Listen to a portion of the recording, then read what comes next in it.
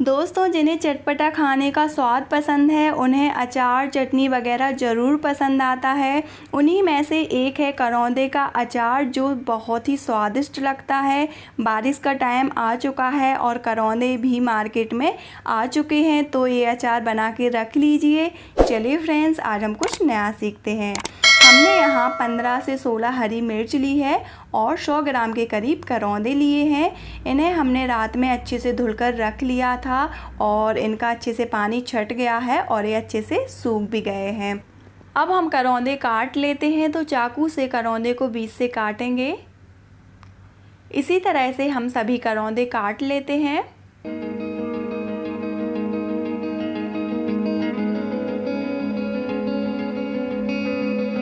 तो हमने सभी करौंदों को काट लिया है। अब हम काटेंगे हरी मिर्च तो हरी मिर्च को भी बीच से हम इस तरह से काट लेंगे।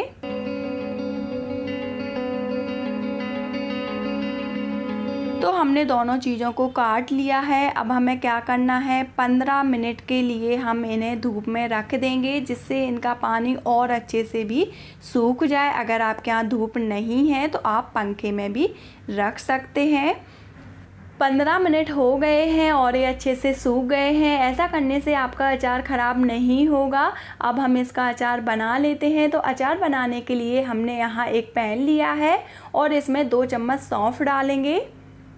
एक चम्मच काली सरसों डालेंगे। अगर आपके पास पीली सरसों है, आप वो भी ले सकते हैं।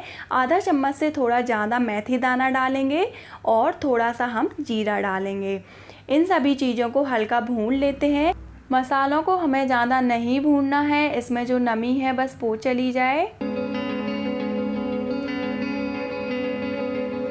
तो मसालों में से अच्छी खुशबू आने लगी है और ये भुन गए हैं। अब हम गैस बंद कर देते हैं।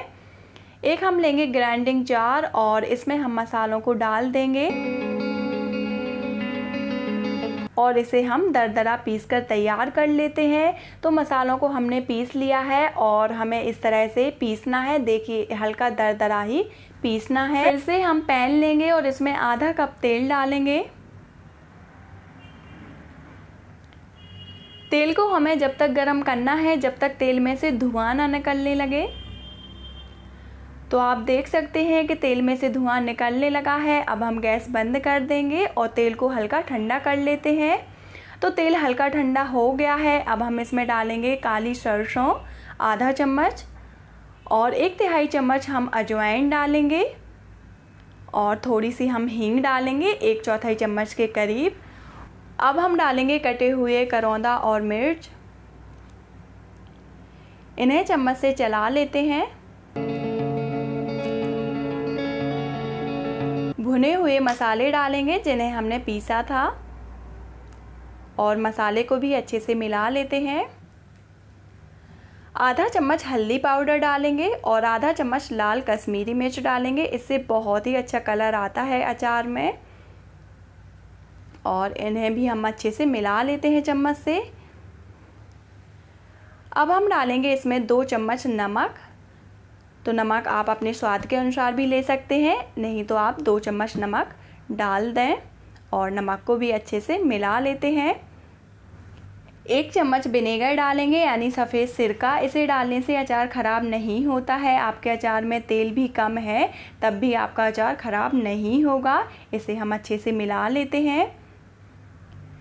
तो आप देख सकते हैं कि अचार में कितना अच्छा कलर आया है और इसे बनाने में हमें बहुत ही कम मसाले लगते हैं और ये बहुत ही जल्द बनकर तैयार हो जाता है। तो यही था मेरा आज का वीडियो। अगर आपको अचार की रेसिपी पसंद आई हो तो लाइक कीजिए। चैनल पे नए हो तो चैनल को सब्सक्राइब कीजिए। Thank you.